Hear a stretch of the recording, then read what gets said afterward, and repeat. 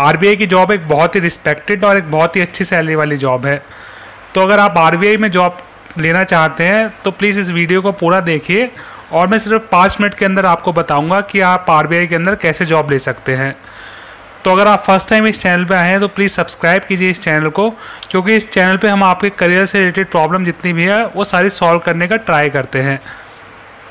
तो सबसे पहले हम बात कर लेते हैं आरबीआई के अंदर जो जॉब ओपनिंग निकलती है, उसका प्रोफ़ाइल क्या होता है। आरबीआई के अंदर बस दो ही टाइप की जॉब निकलती है। फ़र्स्ट है आरबीआई असिस्टेंट की सेकंड है ऑफिसर इन ग्रेड बी इसके अलावा आरबीआई के अंदर बहुत ही हाई लेवल पे जॉब निकलती है, जैसे आरबीआई गवर्नर वो हमारे किसी काम की नहीं है। तो बेसिकली ये दो ही टाइप के प्रोफ़ाइल है, जिसकी हम आज बात करेंगे। तो सबसे पहले हम बात कर लेते हैं आरबीआई असिस्टेंट के बारे में। तो जो आर असिस्टेंट होते हैं, वो जो डे टू डे ऑपरेशन होता है आरबीआई का इन डिफरेंट जो इनके जो सेंटर है पूरे ऑल ओवर इंडिया में, वो उसके अंदर हेल्प करते हैं।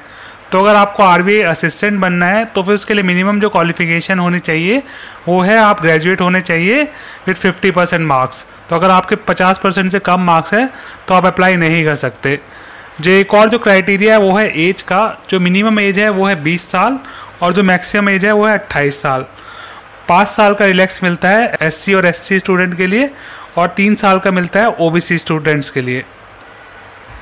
अब हम बात कर लेते हैं इसकी वैकेंसी कितनी निकलती है।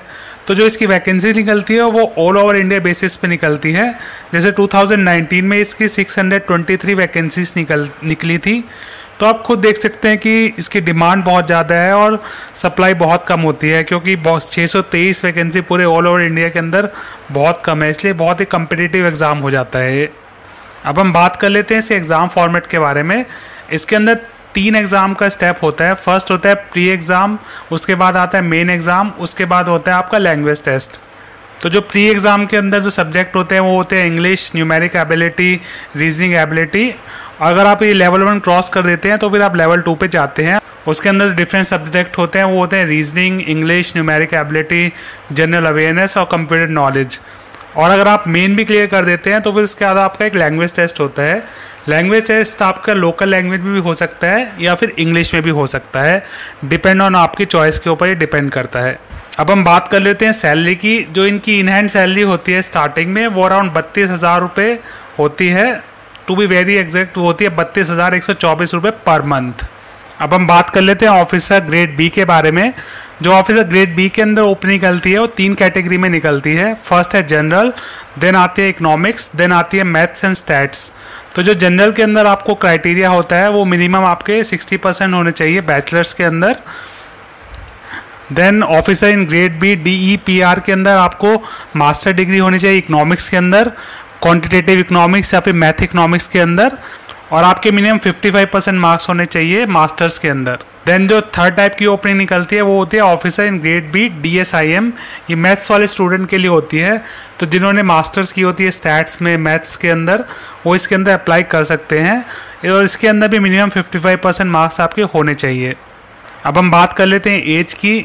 तो इसमें जो एज लिमिट है, वो है 21 one years to thirty thirty years for general category and plus five year for S C S T students तो हम देख लेते हैं कि नंबर ऑफ़ ओपनिंग्स कितनी होती है। तो 2019 में जो ओपनिंग थी, वो 166 थी, जो डिवाइड होती है इन तीनों कैटेगरी के अंदर। तो जो इसके अंदर ओपनिंग निकलती है, वो बहुत कम होती है और इसकी डिमांड बहुत ज़्यादा है, क्योंकि इसका जो सैलरी पैकेज है, वो बहुत ज़्यादा अच्छा है। तो जो हम सैलरी की बात कर लेते हैं, जो सैलरी इनको मिलती है स्टार्टिंग में, वो मिलती है पिछहत्तर हज़ार आठ सौ रुपये तो आप देख सकते हैं कि इतनी अच्छी सैलरी आपको स्टार्टिंग में मिल जाती है तो इस जॉब की डिमांड कितनी ज़्यादा होगी।